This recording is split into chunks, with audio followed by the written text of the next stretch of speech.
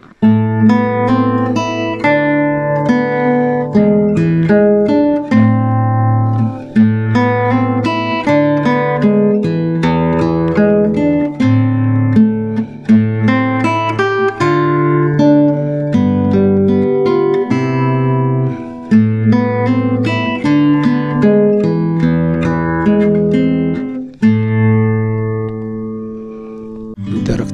Knyga besimokantiems groti gitarą. Nuoroda apačioje.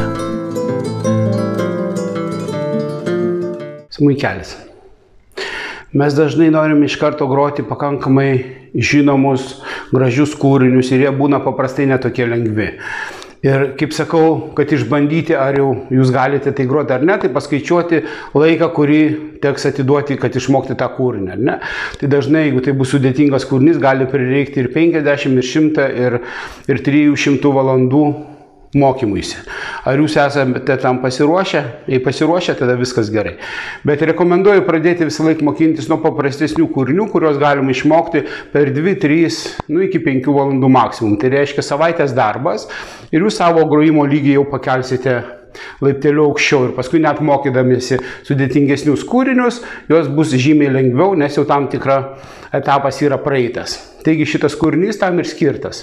Pavadinau jį smuikelis, Jis tikrai yra nesunkus, manau, kelių valandų grojimo, maksimum savaitės jums užteks, kad jį sugroti. Nori groti gitarą, atsisiųsk programėlę gitarija. Nuoroda apačioje. Ir jis turi net trys tokias pagrindinės sudėdamas dalis. Kaip galime įmokytis groti? Tai galite išmokti groti pirmiausia tik melodiją, viršutinės natas ar skaičiukus, negrodami boso, ne?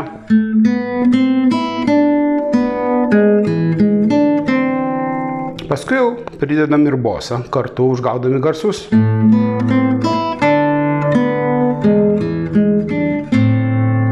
Paskui tarp tam tikrų garsų matysite lankelius, tai vadinasi legato muzikiniai, kada mes garsą, į kurį veda lankelis, išgaunam be dešinės rankos, muždami. Matot, aš užgavau. Tai gražiau leidžia sujungti garsus ir melodingiau skamba, kadangi smuikelis pakankamai melodingas instrumentas, šitas kūrinys taip ir vadinasi. Todėl verta ir tai pasimokyti. Irgi matote, aš užgavau garsą, pakėliau pirštą, truputį užkabinau stygą ir jis skamba nenaudojant dešinės rankos. Čia jau trys etapus. Nesimokykite iškart visų trijų etapų. Tai tam sugaištė daug laiko ir bus mažai naudos. Išmokite melodiją, išmokite su bosu gražiai pagrot ir tik paskui pridėkite tą legatą. Grojant šią melodiją jūs matysite pakankamai dažnai tarp e, natų skaičiuko ar nelankelius legato, kur jūs jau mokėtės groti. Tai grojama neprisimenant, ar ne pull ir hammer, dar vadinama, ar ne, kada mes užgauname be dešinės rankos, mušant pirštu. Ir atvirkščiai, jeigu reikia, pavyzdžiui, iš vienetų kainoliukų, ir truputį lik užkabinam stygą, kad geriau girdėtųsi. Nes jeigu aš tik pakelsiu, tai beveik nesigirdi. Greičiau grojant girdisi, ne, bet lietai grojant nesigirdi. Matot, muša, mušu pirmam taktui. Ir vėlgi užkabinu. Ir vėl, kad garsai susijungtų, aš užgaunu antrą stygą bet piršto nes, neskubu pakelti, kad nebūtų, kad būtų melodingai, ne kaip smuikelis groja, labai melodingai. Irgi neskubu pakelti pirštų. Irgi galiu, man patogiau ketvirtą pirštą statyti, nors reikėtų galbūt trečiam skirsnį trečią. Matot, pirštai visi stovi, aš nekoju garsai nesusijungs.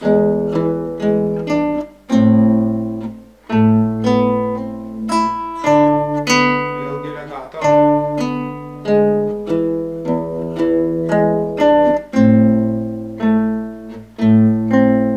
Labai išnaudoju ketvirtą pirštą, man lengviau trečiam pirštį negu įtempt ranką. Ypatingai atkreipkite šiame takte dėmesį, kad trejetuką sol natą ant šeštos stygos trečiam skirsnį nepakeliam.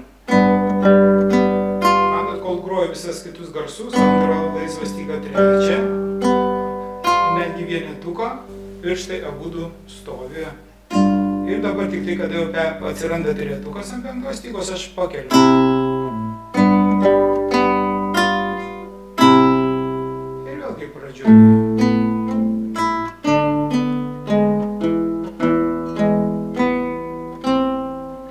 Ir vėlgi galą, kadangi yra vienetukas ir vienetukas, nedidelis tempas galim perkelti pirštą.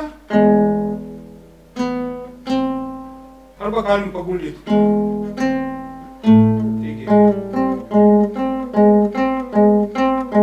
Man paprasčiau atrodo, kad guldyti negu šokinėti. Nes esminis dalykas grojant šią melodiją, kad būtų melodingai.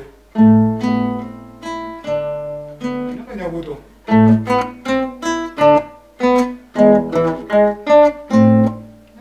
Melodijos nėra. Atskiri garsai, kai ka- kalbėtume raidėmis A, B, C, D, E, G, I, T ir A, vietoj to, kad pasakyti gitara.